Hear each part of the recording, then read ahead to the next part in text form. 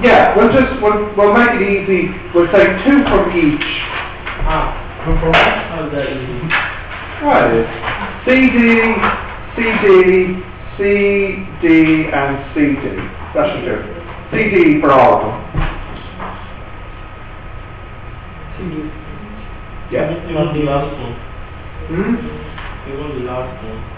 The last one, what about it? The number four. Yeah? CD. Dimension. Yeah? CD. Of course. Yeah. It's not so bad. Really, it's not so bad. So CD from each of them. I just like, uh, last time I got stuck with this question seven. Yes, we'll do them in the tutorial on Monday. That's good. Uh, yes? Oh no, I, I, I need to think of the number so that it does have an answer. I can't just make it random. So you'll have to check later in the class when I have to think about it, okay? Uh, right.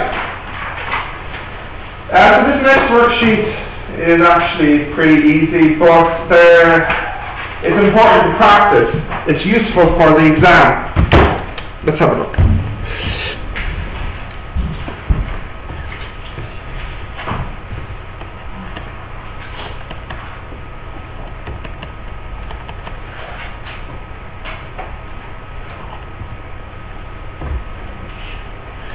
Okay, um, factorizing. So, let me just explain the verb here.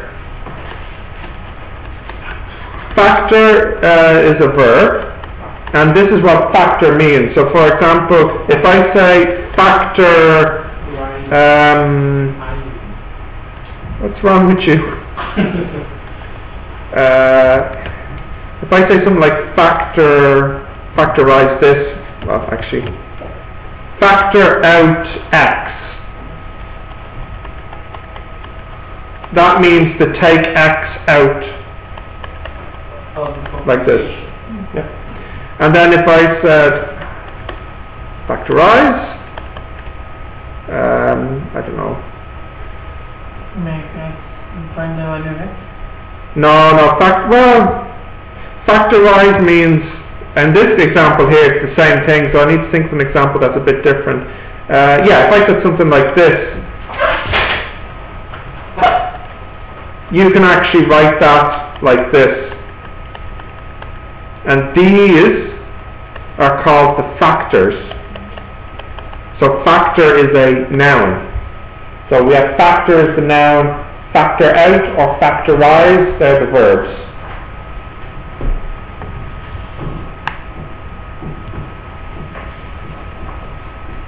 A little bit more vocabulary now. You can use calculator for this. No, I don't want you to. It's a skill you must learn.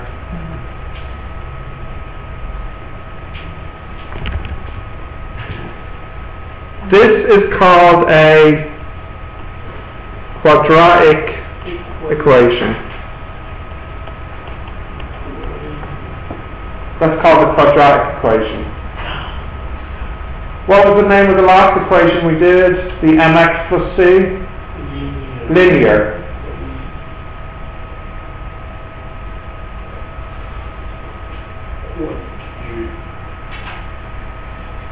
Okay, you got, can I go down?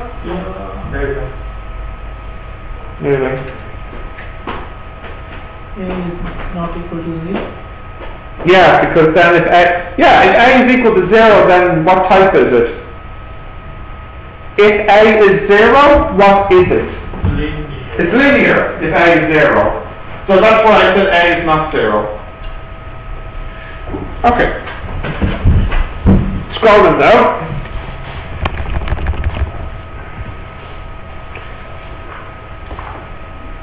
Okay. Um, just a second. Oh, come on.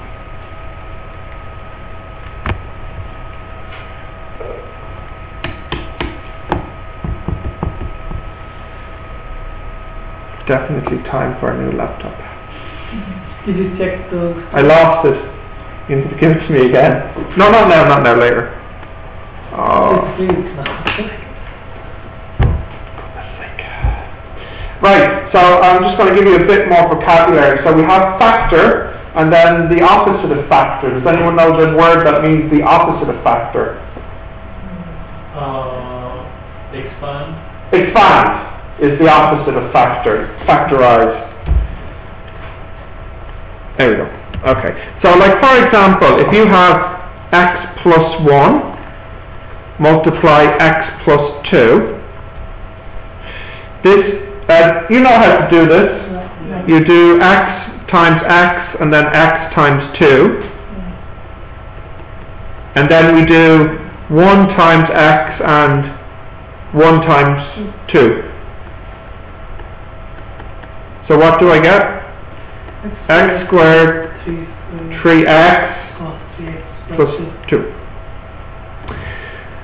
So, if I have x plus 1, x plus 2, and I change that into x squared plus 3x plus 2, the verb is expand. No, no, come on, focus now, or I will kick you out. Uh, I invite you to try me sometimes because I'm not joking. Um, okay, so expand is that way, and then if I go backwards here, so if I start here and go back to these, these are the factors, this is factorizing.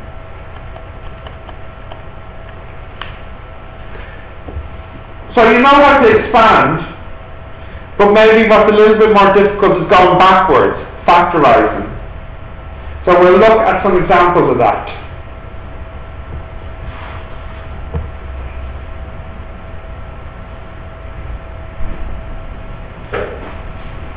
Hmm. There's one, you know, like a logic one where take two numbers that, Oh yeah, that's what we're going to do. I know the one you're talking about. yeah. Can I scroll down? Yes? Okay.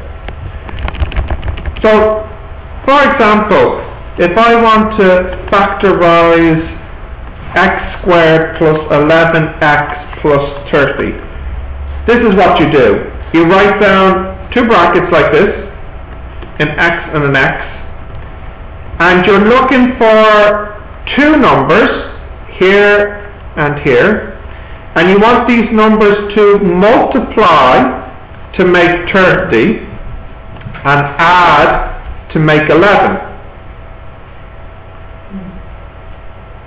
So what two numbers multiply to make 30 and add to make 11? 6 and 5. Let's check our answer as well to make sure.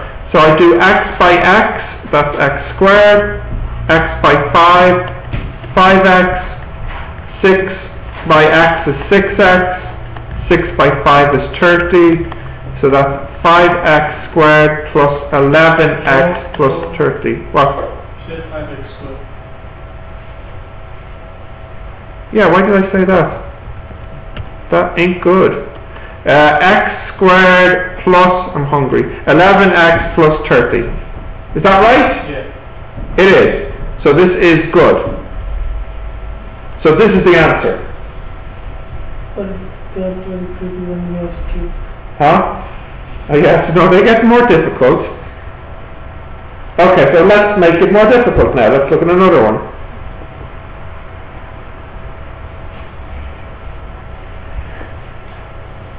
You don't need to check your answer. I'm just checking it to show you how you could check.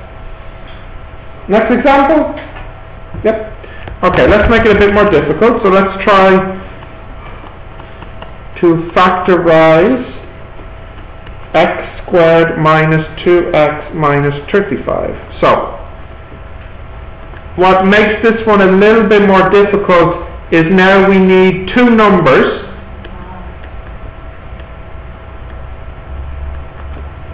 Two numbers that multiply to make minus 35 and two numbers that add to make minus 2. So now it's a little bit more difficult because of the minus, but it's still the same idea. So uh, maybe minus 7 and plus 5. So if I have minus 7 and plus 5, when I multiply them, I do get that. And when I add them, I get that. Okay. Now, the problem with this is there's no way for me to teach you how to think. You know, you just need to think about it. You need to think about the numbers that can do this. So this is the problem when you use your calculator too much. When you use your calculator too much, it destroys your brain, and then you can't think anymore. Okay? So this is a thinking exercise. There's one more, you, we can, uh, you know, we can take the roots. Yeah, this will come in time. Don't rush it. You know, I'm The just the course will get very difficult, and towards the end, you'll be wanting me to slow down. So don't rush things. And okay, so that's the two there. Let's now make uh, a little bit more difficult again. So we'll increase the difficulty. I can scroll down? Yeah. Okay, so now, factorize 15x squared plus 38x plus 24. Now these ones are more difficult because there's now a 15x squared. So there's a number in front of the x as well. So these factors look like this. We have an x, we have an x, but they have numbers in the front. They're not just x and x. They could be like 5x or 15x or whatever. Okay, so there's a number here, and there's a number here, and there's a number here, and there's a number here. So this time, uh, in the red, we want numbers here that multiply to make 15. And then in the blue, we want numbers here that multiply to make 24. But the difficult part here is that uh, when you multiply these numbers and then multiply these numbers and add them together, you want to make 38. we get all, Yeah, you multiply these two, you multiply these two, and add them together, and you want 38. So what I'll do is I'll put in some numbers that won't work, and we'll see why they won't work. Okay? So Fahad, give me two numbers that multiply to make 15. five and three. 5 and 3. So that goes in red. Actually, let me put it in red to make it clearer. But that can be wrong too. No, I want it to be wrong. Okay? I don't want it right yet. Two numbers that make 24. 6 and 4. So we'll put 6 and 4 in the next two. Okay, so uh, 6 and 4. Where's my pen gone? Here it is. 6 and 4. Now, is this right? Do they make 38 in the middle? No. Oh wait, they do. No, they don't. Uh, 6 multiplied 3? Eight. 18. 5 multiplied 4? 20 and 18? 38. Oops, we got the right answer by accident. Okay. Um, so I was hoping we get the wrong answer, then we have to try different numbers. But luckily, us, we got the right answer. So it makes it look easier than it is. But if we got the wrong answer, then we'd have to try different possibilities. Uh, so what's another possibility for 15? Give me two numbers that could make 15. 1 and 15. Or another possibility for 24. Yeah, something else maybe. 2 and 12. Also, yeah, but also 5 and 3 or 3 and 5. Yeah, that, you know, six and four or four and six. Okay? So you might have to guess for a while before you get to it, okay? Or sometimes you get lucky and it's the first one. Yeah. Okay. Um, okay, we'll do another example now with this, a more difficult one, with a minus in it.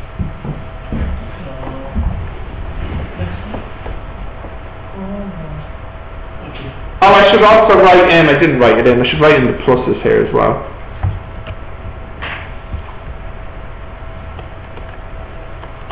Let's check the answer actually. 5x plus 6 times 3x plus 4. Okay, so 5x multiplied 3x, 15x squared, 5x by 4, 20x, 6 by 3x, 18x, 6 by 4, 24. So this is 15x squared plus 38x plus 24. So yes, we are good. Okay.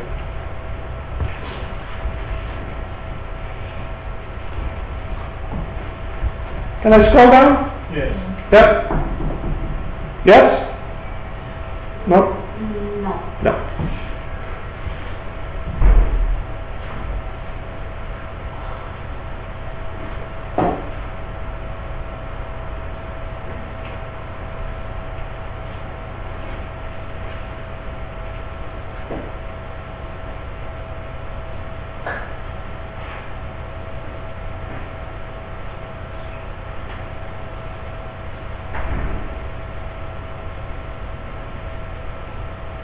Okay. Next example. Let's factorize this one. 12x squared minus 11x minus 15. Right. x, x.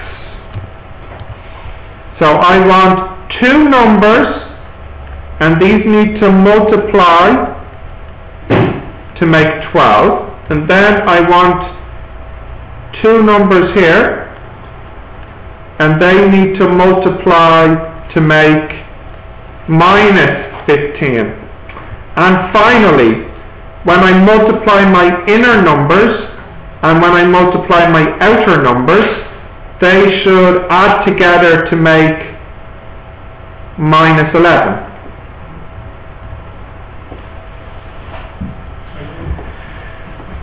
Right. Higgins, give me two numbers that make 12. Um, three and four. 3 and 4, okay? Let's see what happens. And then, uh, give me two numbers that make minus 15. Minus fifteen. Yeah, Three and five. 3 5, but you have to put minus on one of them, so which one do you want to make the minus? Doesn't matter. Minus three. Minus 3. Okay, so we'll make minus 3 and plus 5. Let's see if this is right. Minus 3 plus 5. So let's check the inner and the outer. Minus 3 uh, multiply 4. Uh, minus 12. Yeah? 5 multiply 3. 15. 15 minus 12? No. Plus three. 3. And what do we need? Minus 11. So this combination is no good. So let's try something else. So uh, I feel like I think 3 and 4 is probably right here. Uh, the 15, wait a second, uh, 15, Minus 3 and 5, isn't it? Yeah. 3, 12, 5, no. Three, three and four. 3, no, 3 and 4 doesn't make 15. Is that what we had a moment ago? Hang on, what did we have a moment ago? We had 3 and 4. We had five did we? Okay, good. Panic there. Right, three and five, uh, do we want to keep those down, make it 12 and a 15? Uh, I think five and, five and three, actually. Five and three, because I can put five here and three here, but I have to put minus on one of them, uh, minus five. Yeah. Yeah, because this will make minus 20, and this will be plus 9, yeah. and together that makes minus 11. So this is it, yeah. So, you know, it's really just thinking about it, trying different numbers. Um, I knew not to try 12 and 1 and 15 and 1 because 12 and 1 and 15 and 1, those will make big numbers. And I don't really want big numbers, I kind of want small numbers, 12, 11, 15. Know, because if you have 12 and 1 and 15 and 1, uh, I don't think that would work. Uh, excuse me, yeah, uh, the minus, is it, uh, the five or the three number, right? No, I'm with the 5. If you put it with the 3, that's the wrong answer. Because look what happens if you put it with the 3. 5 times 4 is what? 20. 3 times minus 3, minus 9. 20 minus 9? Yeah, positive 11. And we want negative 11. So the minus, uh, it doesn't matter where it goes. It needs to be on the 5. Okay. Yeah? Three x minus five, no, three x minus. 3x minus 5, 4x plus 3 is the answer here. So we have 3x minus 5, and then we have 4x plus 3 is our answer.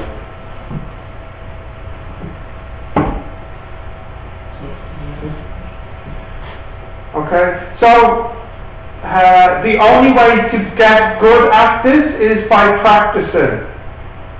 Practicing many of them. So let me give you some homework questions. You can make your name. I can't make it today, can't I? But I think I actually need to give you more than my name.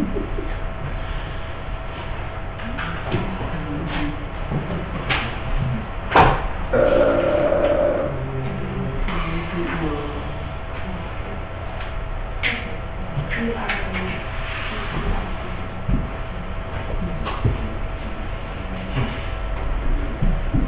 know this word? Yeah. Oh, good. Uh, it is a verb and a noun. It's a verb and a noun. Which word? Practice. Pro. Practice is a verb and a noun. P O R O C. I don't think there's any always practice. Oh, practices. Yes. Oh. Uh, okay. Uh, Fahad. Pick a number between 1 and 20. Seven. Too small. you pick a number. Nineteen. 19 questions is a good idea. uh, let's see. Um, I think. I need three from each. Uh-huh. Three from each. Uh, so we'll say the last three from each. So like BWX, WXY, XYZ, XYZ. The last three in each.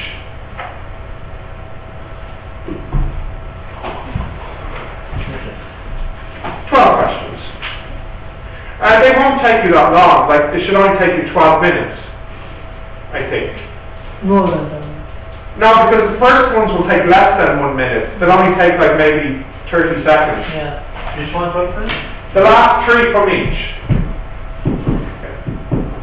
Yeah. Uh, it's the other homework that will take more time. When's our next class? Tomorrow. Tomorrow. Um, what, 10 o'clock, isn't it? Yeah. Yeah, and then on Friday, do we have a class? I think so. I'm not sure. Let me have a look. No. No class on Friday, and it's two classes tomorrow, is it? Mm-hmm. Yeah. Mm-hmm. Yeah, two classes tomorrow. Two classes tomorrow. Two classes on Friday. There's no class for Friday. And then one more. Yeah, okay. Do I, we don't have physics till Friday. Yeah. Oh, good, okay, so you don't need your physics homework for tomorrow, okay, so you'll be okay.